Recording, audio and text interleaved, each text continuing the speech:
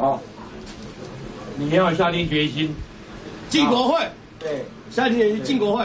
要要为人民服务。好好好好没问题。为效忠国家。好。为人民服务，好。不准他。好，新北市的第八选区的立委候选人李正浩呢，今天请到了红海的创办人郭台铭一起来宣誓哦。而现在可以看到呢，他就是来帮这个李正浩来剃头，象征呢这个破釜沉舟的一个决心啊。而未来呢，也会带着这颗头，他就像是一个综合的新兵啊。未来希望可以进入到国会，而且今天呢还会一起来宣誓，未来如果有机会进入到国会的话呢，一定会好好的来推。动这个政策，我们看一下现场在剃头的最新情况。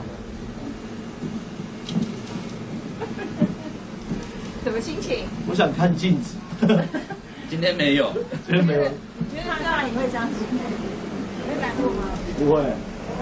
那但是而，事实上呢，这个李正浩啊，在身上其实是穿着迷彩装的，剃头之后呢，就会更像新兵。而现在郭董在最后冲刺阶段，希望可以拉抬新北综合的选情。